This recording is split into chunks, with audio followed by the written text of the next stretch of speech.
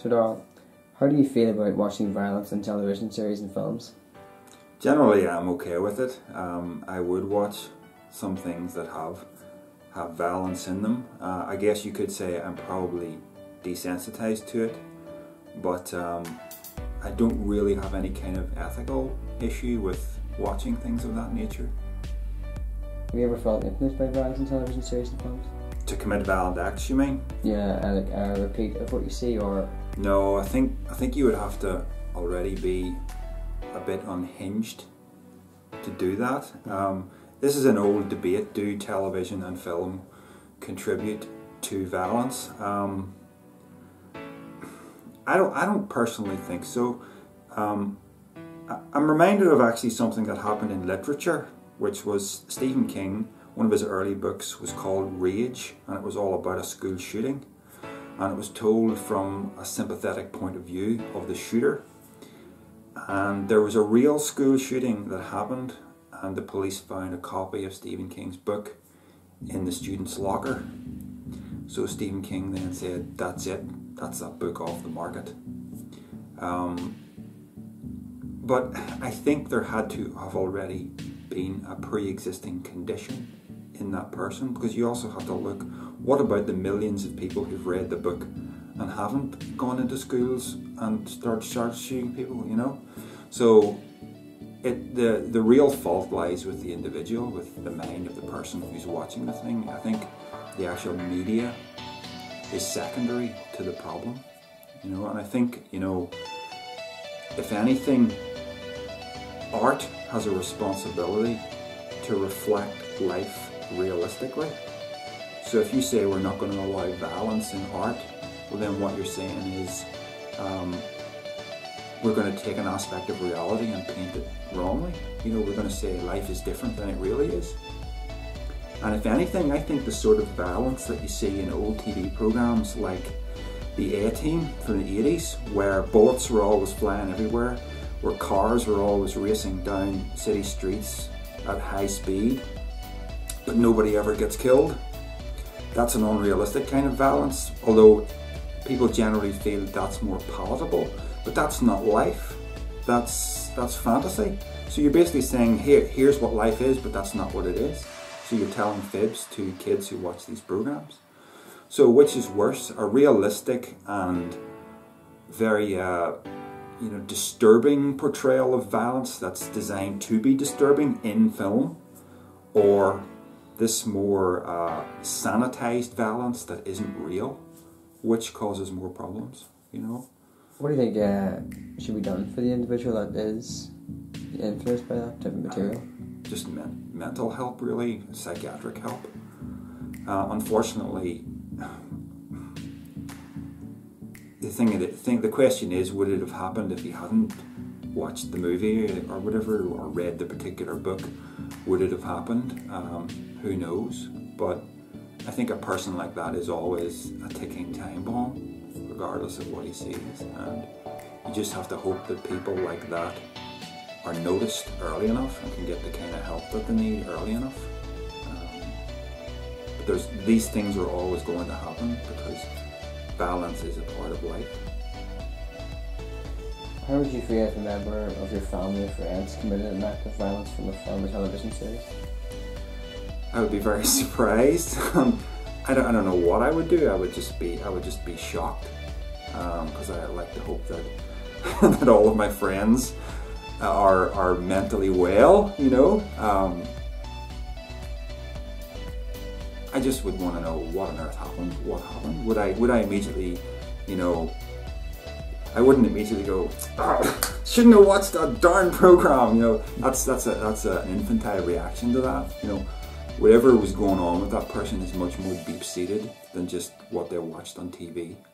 I have watched a lot of violent movies, played a lot of violent video games, and yeah, you know, I'll admit, particularly in the area of video games, there's a tendency to to get angry at times when you're playing something and it's not working and anger builds up on you and you have what they call game rage but it's still it's still controlled you know it's just it's more uh, like frustration that you're that you're going through, but in no way would playing one of those sandbox games where you're running around and you can do whatever you want to whoever.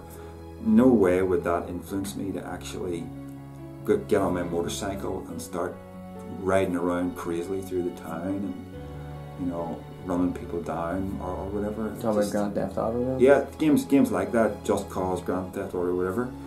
Um, but when you're in that fantasy environment of the game in the privacy of your own home, sometimes you will let a few expletives out of you that you wouldn't normally say in everyday life. And normal people can separate fantasy from reality in that way, you know. And it's just, I guess, the uh, the abnormal ones you got to watch out for. Would you still remain in contact with someone that done that there? I don't know. Um, possibly not. Depending on the severity of what it was. Yeah. Right, Depends whether uh, if it was motivated purely by um, something that was wrong with them, wrong with their brain, then I would have compassion for that. But if it was motivated like a revenge killing or like a crime of passion, somebody slept with somebody's wife and then the other person went out and killed them or something like that, then I have a lot less uh, compassion for that because you know that's premeditated and criminal. How do you think that people can make this diverse in television series and films? And what do you think that would make them tick, you know, to want to go out and do it? Do you think they maybe want to be like that person, or they probably think that's the right way to go about it? Like a role model? Yeah. Um, yeah, I mean, this is literally the first time I've kind of thought thought about that question, but I suppose it's possible that you know when you glamorize the anti-hero or the the sort of you such know, as Walter White. Yeah, that's a good example. I mean, uh, and I work in the education system, you know. Uh, every lots of people, you know, loved Breaking Bad. I love Breaking Bad, and uh, but it's pretty clear that Walter White is not the good guy, really. You can sympathize with him because you can understand the psychological process that he went through and the choices he made to an extent. But he does gradually get worse and worse and worse as a human being, and by the last season, his actions really are indefensible in any way. I certainly would don't idolize him as any kind of hero, but because you've you've gone through everything with him, uh, you can't help but have some kind of sympathy for the, the journey he's gone on. And uh, that's an interesting thing, actually, in, in film and television, when you take somebody who is criminal and instead of just painting them in these black and white terms, he's evil, the other person's good, you've got, you know, this mixture going on which humanizes a criminal person, turns them into somebody that you've got some measure of respect for. A good example, another good example is The Shield.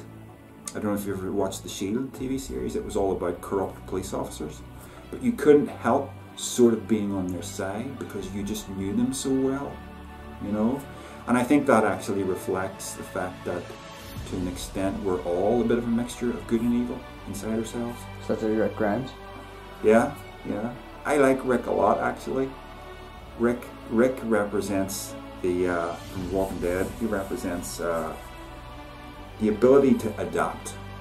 You know, you would be he's the lawman in an ordinary society, but when society falls apart, he's a survivor. He adapts. He changes his behavior.